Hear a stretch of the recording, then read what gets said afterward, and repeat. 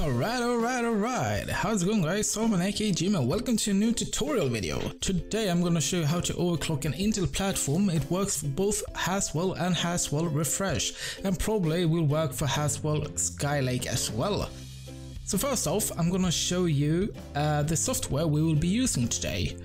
Uh, it's a little bit different from my other tutorial when I was overclocking my AMD platform. Uh, the stability test software I was using back then uh, was Prime 95, but Prime 95 was proven to actually hurt sorry, uh, it was proven to hurt uh, Haswell platforms mainly because it added up more uh, voltage uh, even though I had set it uh, a manual set voltage in BIOS. Uh, so basically there's been different CPU tests or stress tests rather that you'll be using for uh, instead of Prime 95 with other words. Yay. Alright so as usual we're gonna start off with CPU-Z as well. It's the standard program you're gonna use it at every time you're overclocking you're just gonna use it. And I'm gonna use RealTemp as well my temperature in idle mode right now is quite high, but it's mainly because I'm over, uh, I'm not overclocking right now. I'm recording a video and I'm doing it in 1080p 60 fps, so it's taking a, a, little bit of CPU performance. So, you know, uh, so why I like RealTemp is because you can see the temperatures and when uh, it happened. So let's say you've been overclocking and stress testing during the night, uh, you can see when it peaked and how much it peaked at. So that's that's really useful, in my opinion at least, anyway. And we're gonna use, as I said, a new uh, stability test program, Intel Extreme Tuning Utility, or for short XTU. And uh, this is, I never tested it myself, I've been using other softwares, but I've heard this is a really nice program. And uh, we're gonna use this today and hopefully it will work really really well. So we're gonna jump into BIOS and I'm gonna show you the settings we will be working with today. Alright, so here we're on the BIOS. So we have a lot of settings here and uh, some of these settings you may not have them but that's probably mostly because I have a quite high-end motherboard and cost me quite a lot of money back when I bought it. But most settings exists, but they may be called differently from motherboard to motherboard.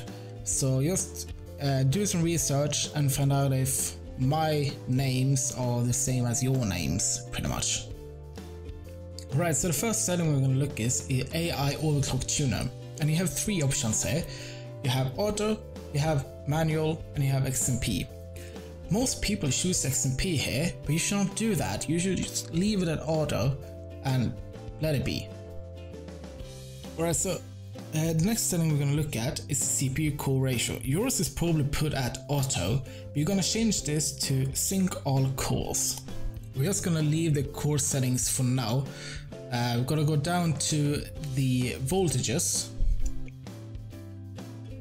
So here at the voltages, Right here you have the CPU core voltage and as you can see my voltage at stock speed is 1.024 volts. Yours may differ and it may be differently. Either way you're gonna save, you're gonna type up this uh, number on a paper uh, we're gonna use this later so you need to save this 1 point whatever number you have and uh, yeah we're gonna go from there pretty much Right, so we're gonna do a thing called a dirty overclocking, meaning you're gonna go from, you can switch this setting from auto to manual mode, and you're gonna go on 1.2 volts. After that, you're just gonna go to CPU cache voltage. It may be called ring voltage as well.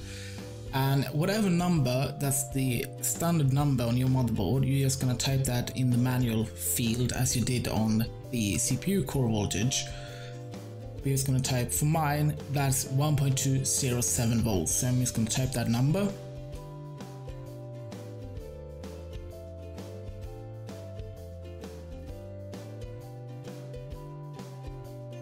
And now we're going to scroll down until we find uh, the CPU spread spec spread spectrum. And you're gonna disable this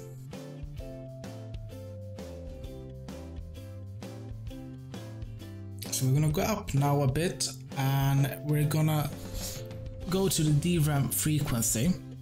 I'm gonna put it at the stock speed as the RAM is put on. So if your RAM is 1600 megahertz, you're just gonna put it at 1600. Alright, so we're gonna do one more thing before we start overclocking. We're gonna change this CPU cache ratio to 35. So change the minimum and the maximum to 35.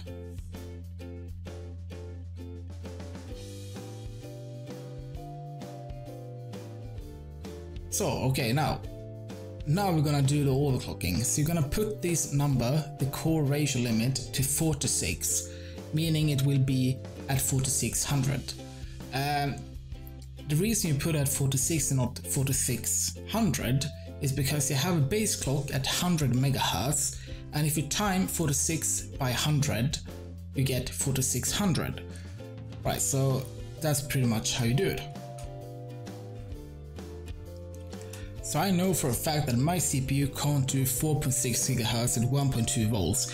So what I'm gonna do I'm just gonna go to and load my overclocking profile and go into Windows and I'm gonna explain from there how you're gonna continue your overclocking.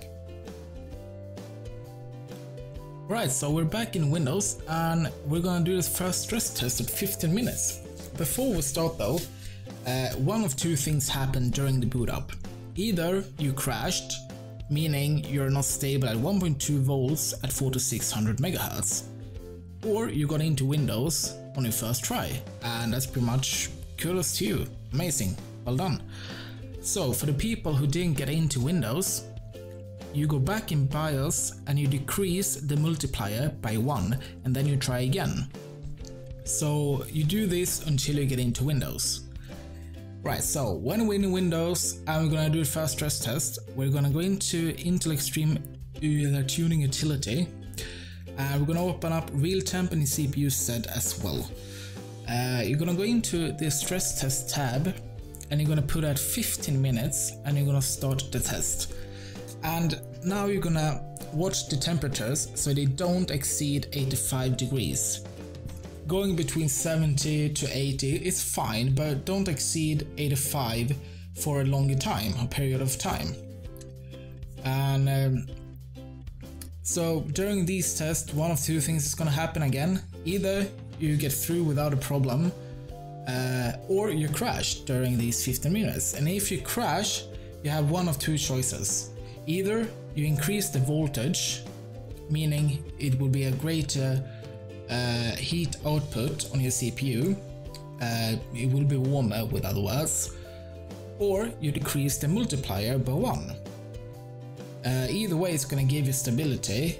However, if if you're like me and feel happy with an Intel platform that's amazing freaking CPU, uh, I have a 4770K and it's an amazing CPU, it's great speed. I'm, I'm satisfied with 4400 in core speed. 4400 megahertz is done deal for me, pretty much. Alright, so this is pretty much how you're gonna do until you feel you're done with the overclock. Uh, so if you crash, you increase the voltage or you decrease the multiplier until you feel you're stable and you always increase the voltage by one each time. And uh, when you feel satisfied with the overclocking, uh, you're gonna do a 12 hour stress test. Um, at least 12 hours stress test. And when you're done, you're completely done with everything, we're gonna go back into BIOS and we're gonna talk about some other settings. And I'm gonna stop the stress testing here for me now. I'm gonna stop it and I'm gonna go back into BIOS. Alright, so back in BIOS, we can now do some different settings. So we're gonna start by going down to the CPU core voltage and you can see right now I have mine on adaptive mode and yours is still at manual mode 1.2 volts, uh, what you're gonna do, you're gonna take these 1.2 volts and subtract the original volt that you earlier typed up on a paper.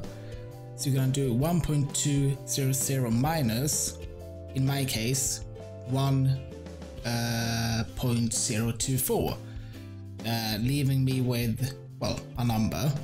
And that's the number you're gonna put on the adaptive mode. So whatever that number is, uh, you're just gonna do that in the adaptive mode and just plus la la la la la until you get to the point where it's the same volt. If you don't understand what I mean, I have a full description down in the description box below the video. So take a look at that if you don't understand what I'm what I'm saying. So when you're done with that, with, with this, with so when you're done with that, with the real overclocking, you can start playing around with the cache ratio and the memory as well.